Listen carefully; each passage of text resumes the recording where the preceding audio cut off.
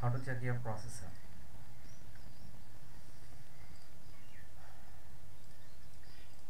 Our computer is open. And then right click and the properties